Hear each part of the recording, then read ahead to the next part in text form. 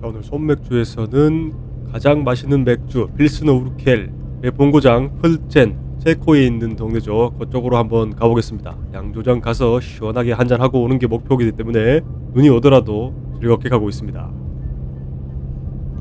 한국어로 된 팜플렛도 배포하고 있는데요. 딴 내용 별거 없고 맥주 소개가 대부분입니다.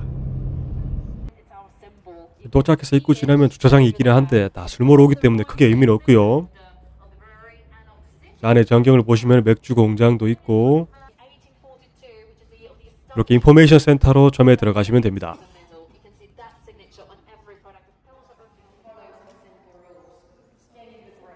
안타깝게 투어는 한국어는 없고요. 영어로 예약을 해서 갔는데 이분이 작년에 했던 분인데 똑같이 또 하고 있더라고요. 이분만 하시는 것 같습니다. 영어 예약은 하루에 한 번 할 수 있습니다. 안에서 간단하게 역사를 설명하고 나면은 요 밖에 나가가지고 식당을 보여줍니다. And there is a restaurant if you're hungry. It used to be the largest restaurant in the Czech Republic. Two years ago, we had to narrow it because to offer over 600 seats was quite difficult. Really, the, the serving was, was, was difficult. But it's still important because 네, 옛날에 맥주 굴 파가지고 맥주 숙성하던 데를 식당으로 바꿔가지고 저렇게 운영을 하고 있습니다. uh, restaurant is underneath the building, not inside. On 자, the 그러고 나면은 안에 들어가서 재료 설명부터 친절하게 해줍니다. final product, which is the beer. We are using pale malt. We are not toasting it uh, after we do the germination. We're just drying it. If we toast malt, then we create a dark beer that has this kind of a chocolatey coffee taste. That's uh, because malt is is uh, toasted the same way as coffee, for example. But we are just drying it. So that's the reason why color is, is just golden and it's not as sugary and the alcohol is not as high. Okay? We move to the second. Uh, we have five wells that are deep 100 meter close to the brewery. 몰트 설명해주고 나면은 물을 설명해줍니다. 너무 기술적인 내용이라 설명 안 해주신 것 같은데 여기 물이 연수, 소프트 워터라고 해서 여기 이제 펄젠 지역에서 페일 라거가 탄생하는 계기가 됩니다. 향후에 기술적으로 연수를 만들 수 있는 방법이 나오기는 하는데 그게 한 100년이 더 지난 다음에 나오는 기술입니다. 어떻게 보면 이분들이 이제 운이 좋았죠.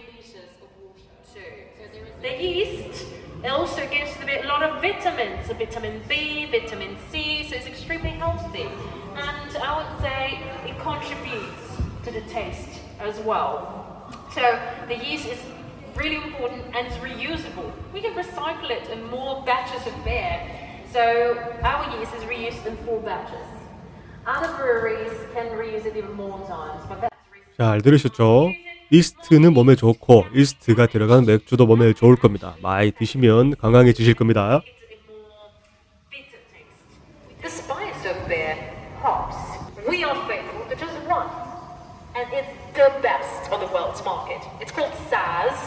really want to use natural ingredients from Czech Republic. There's a reason why we need to spice it more and use more hops. Um, uh, they started to use it not because of the taste, but because it's a natural preservative, and it's also very healthy. It's Extremely good for digestion. So I suppose that's the reason why Czechs are drinking so much of beer, because Czech kitchen is quite heavy. You drink just a little bit, and almost immediately feel very sleepy, you feel relaxed, you feel amazingly. Most people think it's because of the alcohol. First effects of relax, it's thanks to hops. Because this ingredient is from the same family as cannabis. 어쩐지 밥 먹고 맥주 한 잔 먹고 가만 앉아가 멍 때리고 있으면 잠이 솔솔 온다 beer 이 비밀이 밝혀졌네요.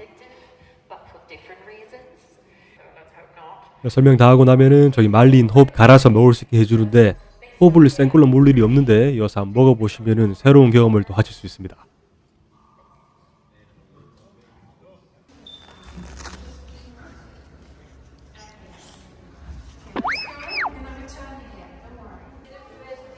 여기 보이는 이제 금속 가스가 맥주를 만들 때 쓰던 건데 이거 이제 전쟁이 나가지고 독일 사람들이 쳐들어온다고 하니까 그 동네 사람들이 야 이거 뺏기면 안 된다 하면서 몇 시간 만에 땅을 파가지고 묻어놨다고 합니다. 전쟁 끝나고 다시 팠는데 쓸 수는 없어가지고 이렇게 전시를 하고 있다고 하네요. 자 다음은 저온 숙성을 위해서 72년 동안 수작업으로 땅굴을 파가지고 만들어 놓은 켈러로 내려가 보겠습니다. 네, 통로를 말도 지나다닐 만큼 크게 파놨는데요. 93년 이후부터는 다른 저장고를 쓰기 때문에 이걸 안 쓰고 있고 여기서는 자, 공법이 바뀌더라도 원래 맛을 잊지 않기 위해서 소량으로 오크통에다가 보류를 해가지고 맛을 정확하게 지키고 있습니다. 보시면 CPC 관리도 확실하게 하고 있죠. 공정 근대화가 이루어진 다음부터는 금속에 닿지 않는 필스너 오르케를 먹을 수 있는 방법이 없습니다. 여기에 안 오는 이상.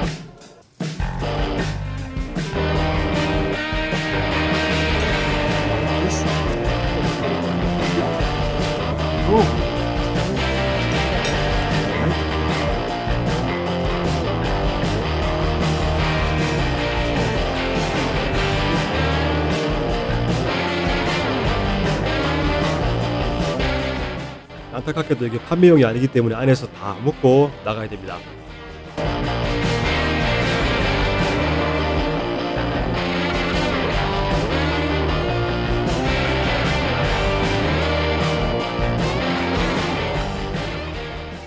다 먹고 나오면은 이렇게 기념품 샵이 있고요. 컵이나 각종 상품들을 팔고 있습니다. 자, 백체 코론이 한 5,500원 정도 하니까 크게 뭐 비싼 편은 아닙니다.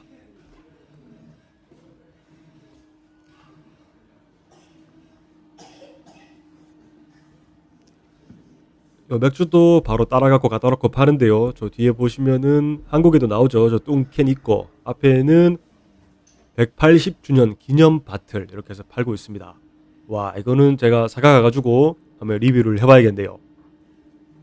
3시 반에 시작한 투어가 이제 끝났고요. 나오니까 5시 겨울이라서 해가 다 지고 경치가 좋아졌습니다. 시원하게 한 잔 더 하고 집에 가는 걸로 하고 손 맥주 필젠 투어였고요. 형님 누님들 구독과 좋아요 부탁드리겠습니다. 다음 주는 여기서 산 맥주 리뷰로 다시 찾아뵙겠습니다. 감사합니다.